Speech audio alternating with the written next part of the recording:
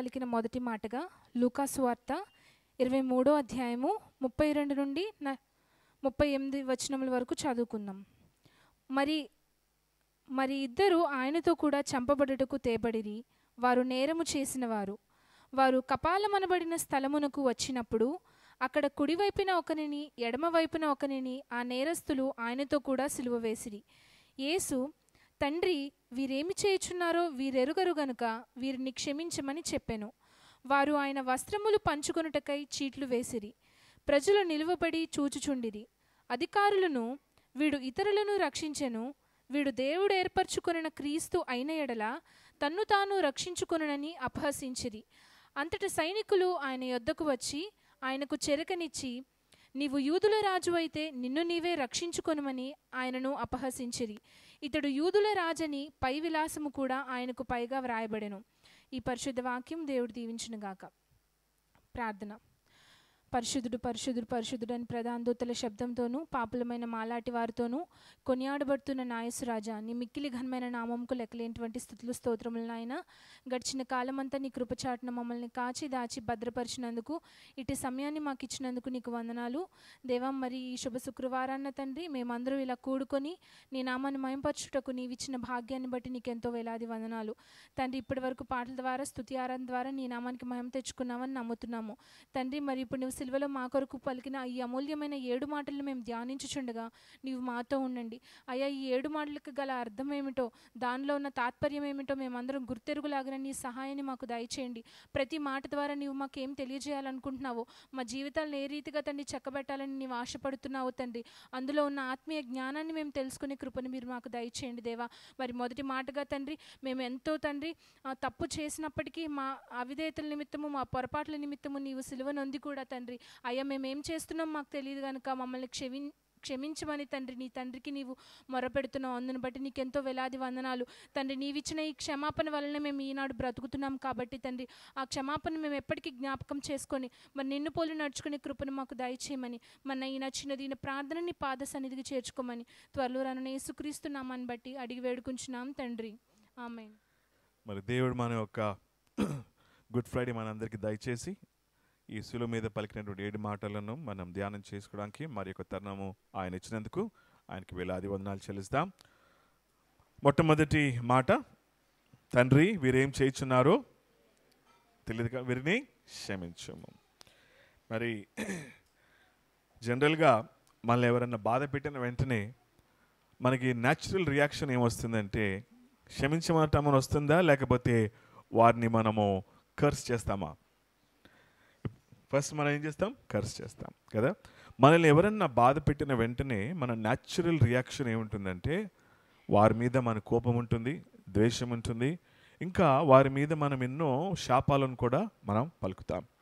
యేసుప్రభు యొక్క జీవితాన్ని మనం చూస్తుంటే బైబిల్ యొక్క వాక్యం ఏముంటుందంటే he began to do and teach ఆయన ఏదైతే ఆయన బోధిస్తున్నాడో అది చేస్తూ వస్తున్నట్టు ప్రతి చోట కూడా రాసి ఉంటుంది. He began to teach and do ఆయన ఎప్పుడు కూడా తన పలికినటువంటి మాటలను ఏదైతే బోధిస్తున్నాడో అది ఆయన జీవిస్తూ వస్తున్నాడు కాబట్టి అందరూ ఆయన జీవితాన్ని చూసి ఆశ్చర్యపోయారు.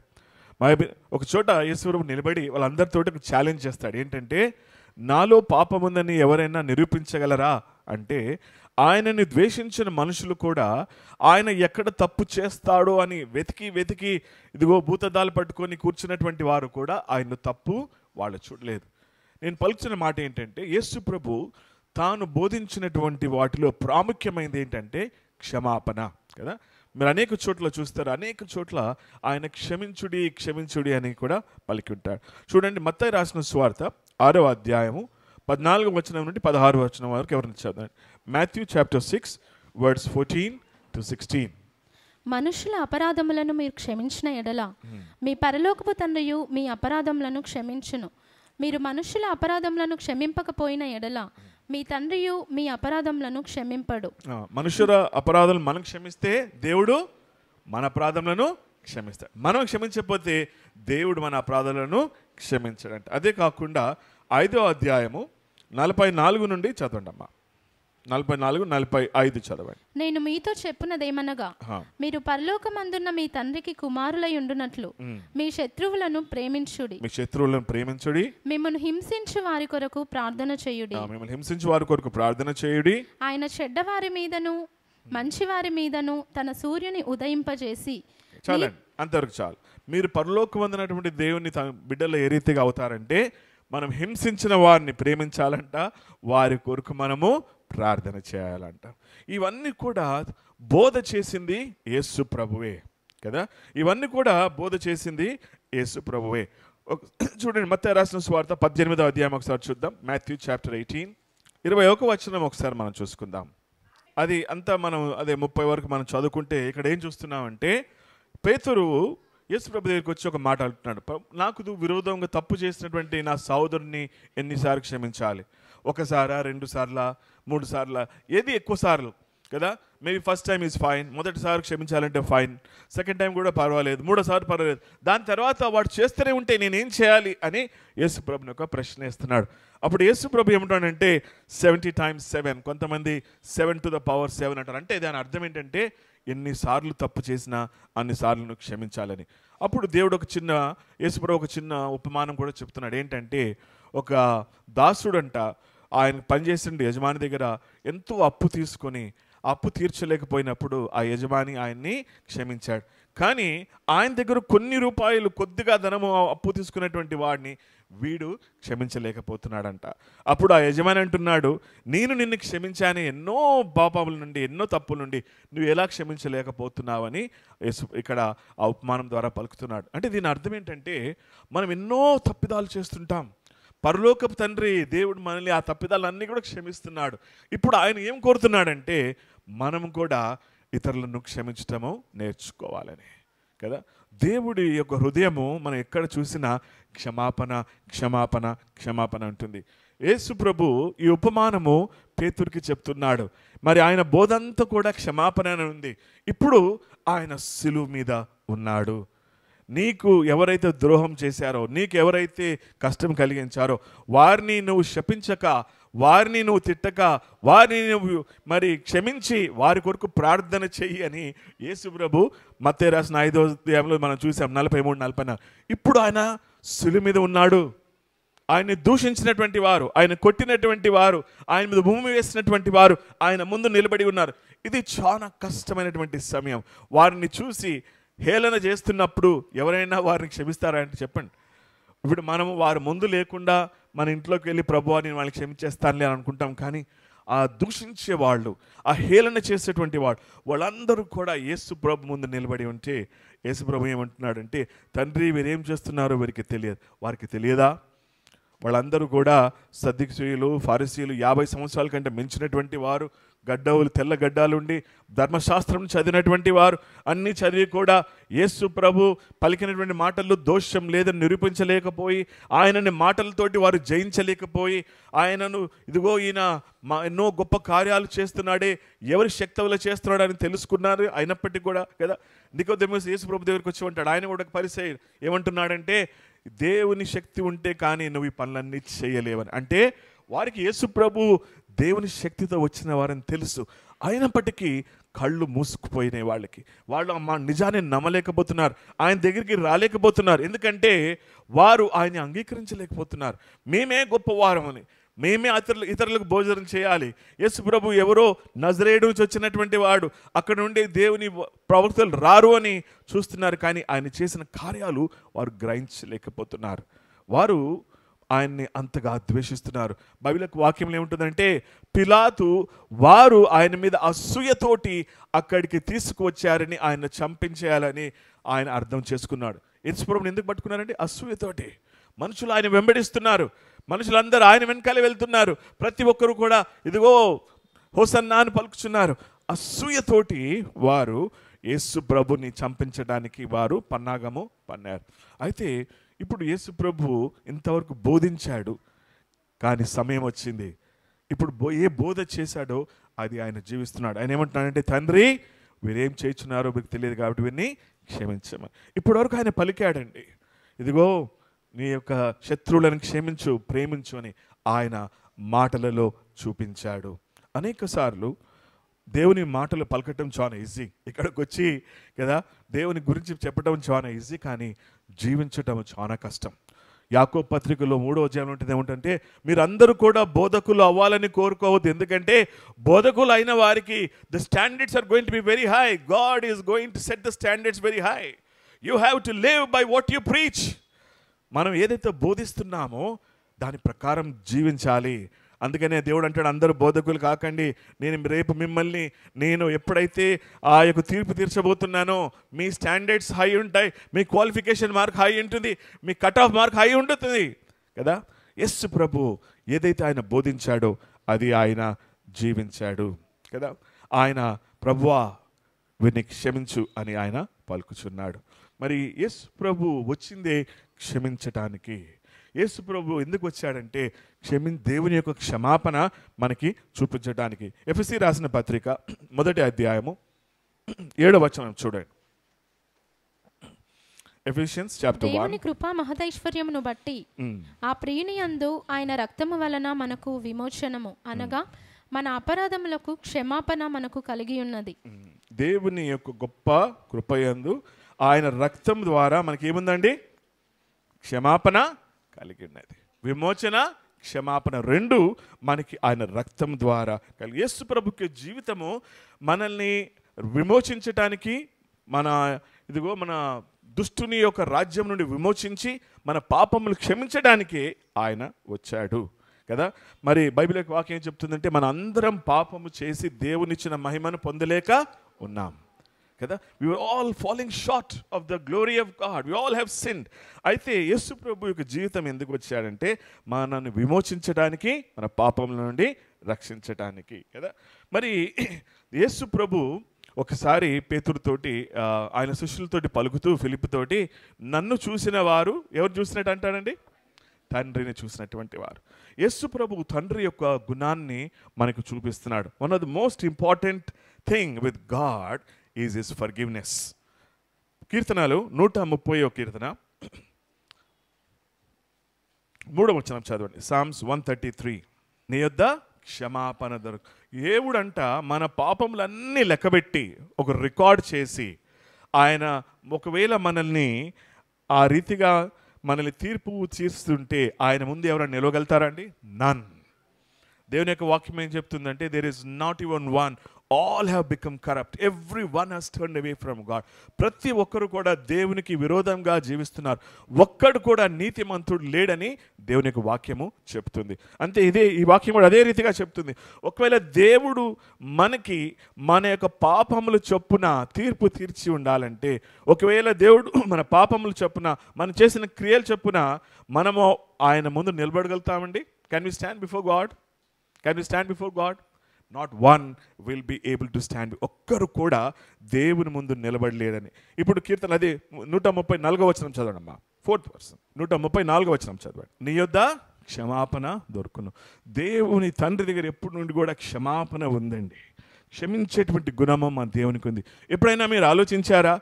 ఒకవేళ దేవుడికి క్షమాపణ గుణము లేకపోతే ప్రతి ఒక్కరిని తీర్పు తీరుస్తూ ఉంటే ఈరోజు మనందరం ఇక్కడ ఉండగలుగుతామండి నో నాట్ ఎట్ ఆల్ ఆయనలో క్షమాపణ గుణము ఉంది కాబట్టి మనం ఇంకా సజీవులుగా ఉన్నాం కదా? మరి లామెంటేషన్స్ చాప్టర్ త్రీ వర్స్ ట్వంటీలో అంటేదంటే we are not consumed because of his mercy మనము ఇంకను కదండి చూడండి Lamentations chapter three verse twenty two ఎవరిని చదువుతారండి? విలాప వాక్యములు chapter three verse twenty two యెహోవా కృపగలవాడు. ఆయన వాత్సల్యత ఎడతెగక నిలుచున్నది గనుక మనము నిర్మూలము కాకున్న వారము. మనం నిర్మూలము కాకున్నాము కదా? Because of his mercy his compassions ఆయన యొక్క కృప వలన ఆయన యొక్క ఆ యొక్క మర్సీ వలన కృప వలన మనమందరం కూడా చనిపోక మనం అందరం మరొకసారి చదవ beautiful words please read again Sam విలాప వాక్యాలు మూడు ఇరవై రెండు చదవండి. మనం నిర్మూలము కాలేదు. ఆయన దగ్గర మరి కృప ఎంతో విస్తారంగా ఉంది. ఆ కృప వలన మనం ఇంకనూ నిర్మూలం కాలేదు. ఇదిలోని కీర్తనలు నూట ముప్పైలో ఏమో చెప్తుందంటే ఆయన మన పాపములన్నీ కూడా లెక్కబెట్టుకుంటే ఏ ఒక్కరం కూడా ఆయన ముందు నిలబడలేమంట. అయితే ఆయన ఎందు క్షమాపణ ఉంది. దేవుడు క్షమించే గుణం కలిగి వాడినాడు కాబట్టి మనం ఈరోజు సజీవులుగా ఉంటున్నాం. బైబిల్ ఒక వాక్యం ఏముంటుందంటే దేవుడు మరి మన పాప క్షమాపణ కోసం దేవుని యొక్క గొర్రెపిల్లకు యేసు ప్రభుని ఆది అందునే ఆయన్ని ఆయన్ని మరి ఆ యొక్క ప్రణాళిక వేసినట్టు చూస్తున్నాం. చూడండి మొదటి పేతురు మొదటి అధ్యాయము పద్దెనిమిదవ వచనం చూద్దాం. First Peter chapter one words eighteen పితృపారంపర్యమైన మీ వ్యర్థ ప్రవర్తనను విడిచిపెట్టినట్లుగా వెండి బంగారముల వంటి క్షయవస్తు ట్వంటీ ప్లీజ్ రీడ్ ట్వంటీ ఆయన జగత్తు పునాది వేయబడక మునుపే నియమింపబడెను గాని తన్ను మృతులలో నుండి లేపి తనకు మహిమనిచ్చిన దేవుని ఎడల తన ద్వారా విశ్వాసులైన మీ నిమిత్తము కడవరి కాలములయందు ఆయన ప్రత్యక్షపరచబడెను. ఎవరు ప్రత్యక్షపరిచాడండి? యేసు ప్రభు వారు జగత్తి పునాది వేయక ముందనే దేవుడు ఆయన్ని ప్లాన్ చేశాడంట. ఎందుకంటే మన పాప క్షమాపణ కోసమే. మన పాప క్షమాపణ కోసము జగత్ పునాది వేయకముందే దేవుడు యేసు ప్రభుని ఒక బలి బలిచ్చే గొర్రెపిల్లగా ఆయన ఏర్పరచుకున్నాడు. ఎందుకు? బాగా గమనించండి. ఆదాము తప్పు చేసిన తర్వాత దేవుడు యేసు ప్రభుని పంపించాలనుకోలేదు. కానీ సృష్టి ఆయన ఎప్పుడైతే స్టార్ట్ చేస్తున్నాడో అప్పుడే చూశాడు ఆయన ఆదాం తప్పు చేయబోతున్నాడని అవ తప్పు చేయబోతుందని మానవులందరూ తప్పులు చేయబోతున్నారని వారికి పాప క్షమాపణ గురించి ఆయన జగత్ పునాది వెయ్యక ముందే ఇదిగో ఈ ప్రశస్తమైనటువంటి గొర్రెపిల్ల యేసు ప్రభుని ఆయన అప్పుడే ప్లాన్ చేసినట్టు మనం చూస్తున్నాం. మనకు బాగా గమనించవలసింది ఏంటంటే దేవుడు మనల్ని కూడా ఆ యొక్క జగత్ పునాది వేయక ముందనే ఆయన ఎంచుకున్నాడు కదా. చూడండి ఎఫ్ఎస్సి రాసిన పత్రిక మొదటి అధ్యాయం నాలుగో వచనం చూడండి. ఎట్లనగా తన ప్రియునియందు తాను ఉచితముగా మనకు అనుగ్రహించిన తన కృపా మహిమకు కీర్తి కలుగునట్లు. తన చిత్త ప్రకారమైన దయా సంకల్పము చొప్పున యేసుక్రీస్తు ద్వారా తనకు కుమారులనుగా స్వీకరించుటకై మనలను ముందుగా తన కోసము నిర్ణయించుకొని మనము తన ఎదుట పరిశుద్ధులమును నిర్దోషులమునై ఉండవలెనని జగత్తు పునాది వేయబడక మునుపే ప్రేమ చేత ఆయన క్రీస్తులో మనలను ఏర్పరచుకొనెను. మనం ఎట్లా ఉండాలండి? పరిశుద్ధులుగా? చూడండి ఇంకో వాట. నిర్దోషులుగా. ఎట్లా ఉంటాము? పరిశుద్ధులుగా నిర్దోషులుగా అంటే యేసుక్రీస్తు ద్వారా.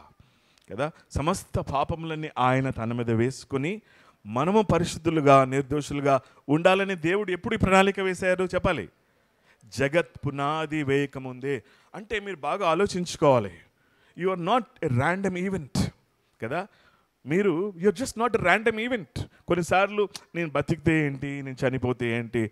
నేనేమైనా ఇంపార్టెంట్ పర్సనా నేను విఐపి కాదు కదా. హూ కేర్స్ ఫర్ మీ నాకు చదువు లేదు. లేకపోతే నేను ఏదో చిన్న ఉద్యోగం చేసుకుంటున్నాను. ఒక టీచర్ని నేను. లేకపోతే ఒక ఇద్దరు పిల్లలకి తల్లిని నేను. ఇదిగో నేను ఏదో చిన్న పని చేసుకుంటున్నాను ఆ ఇంట్లో. I'm nobody in this world I'm an inconsequential person my words my deeds do not make an impact on this world అనుకుంటాను. చాలా సార్లు కదా? మన దృష్టిలో మనం చాలా చిన్నవారం. అయితే యేసుప్రభు ఏమంటున్నాడంటే నిన్ను జగత్ పునాది ముందే పరిశుద్ధులుగా నిర్దోషులుగా ఉండాలని ఆ యొక్క గొర్రె పిల్లను జగత్ పునాది ముందే ఆయన ప్లాన్ చేశాడు. అంటే ఆయన ఆ యొక్క ఈ లోక సృష్టించక ముందే నిన్ను ఆయన చూశాడు. నువ్వు నిర్దోషులుగా ఉండాలని నువ్వు పాప క్షమాపణ పొందాలని ఆయన అప్పులే ప్లాన్ చేశాడు. ఎందుకంటే నువ్వు ఆయన దృష్టిలో చాలా చాలా శ్రేష్టమైనటువంటి person.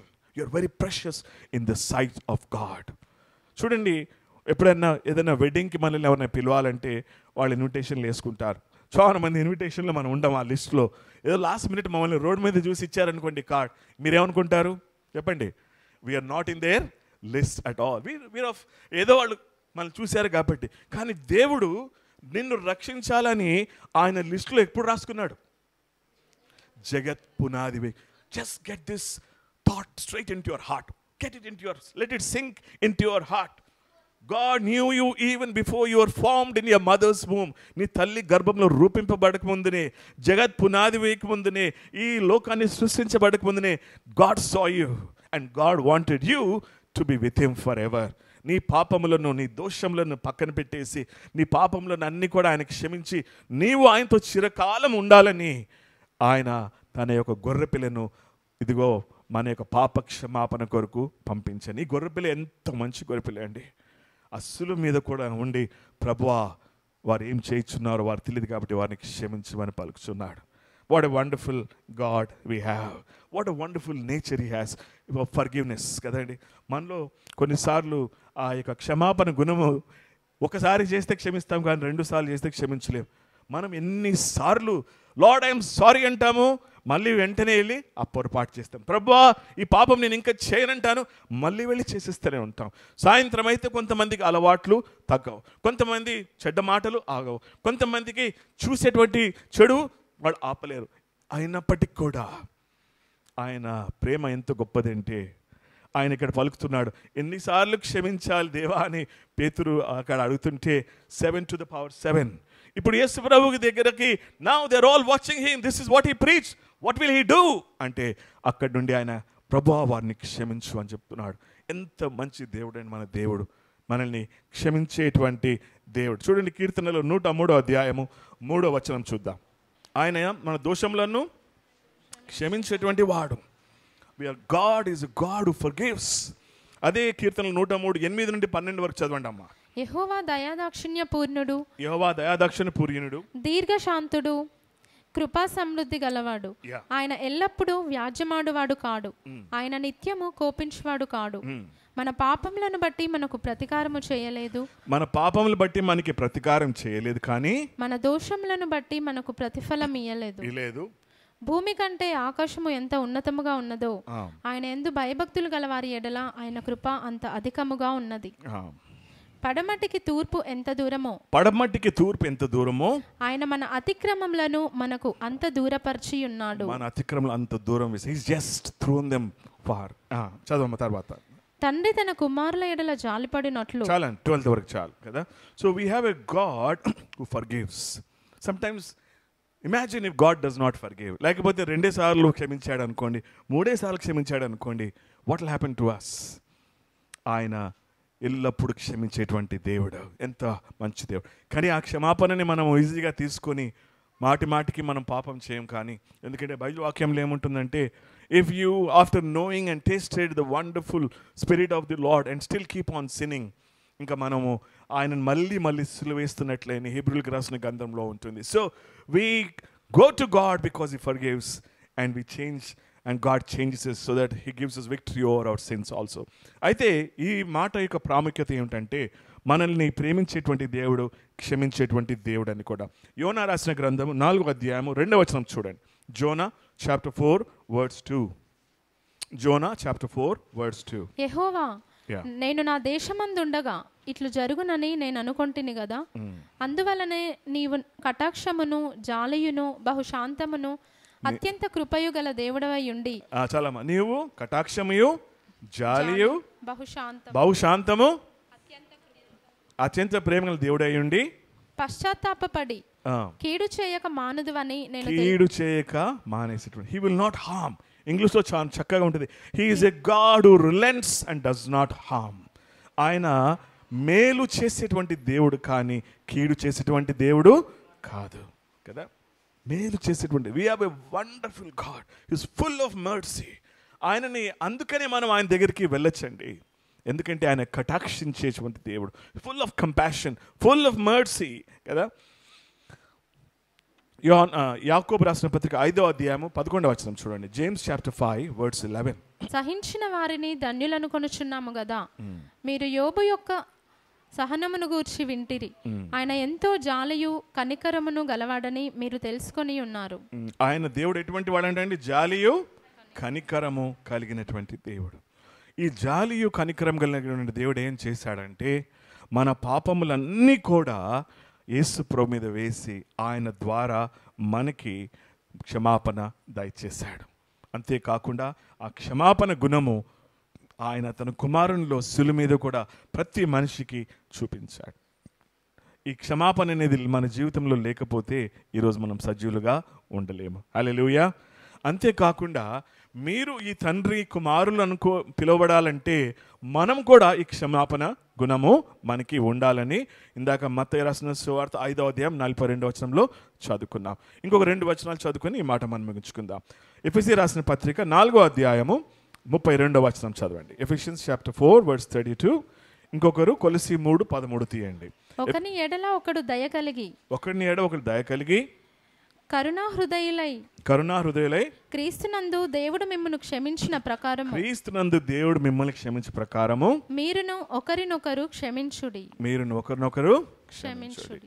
ఎందుకంటే అన్ని రిలేషన్షిప్స్లో whether it's a father and a son or a wife and a husband or at an office వేరే మానవుడు ఇంకొక మానవునితోటి మనము ఎంతో మనము ఏమంటారంటే ప్రేమ ఐకమత్యం అనే మంచి సత్ సత్సంబంధాలు కలిగి ఉండాలంటే ఒకరినొకరు మనము ఏం చేయాలంటే మనం క్షమించుకోవాలి. క్షమింపన లేకపోతే we can not live a godly life impossible ఎందుకంటే మనలో ఎన్నో తప్పులు ఉంటాయి కదా? మనలో అనేక తప్పులు ఉంటాయి. ఇందాక యాకోబులో మనం చదివినట్టు మూడో అధ్యాయంలో we all stumble we all stumble యాకోబు మూడు మన ఏంటంటే ఎవ్రీ వి ఆల్ స్టంబుల్ ప్రతి ఒక్కరు కూడా తప్పులు చేస్తూనే ఉంటారు.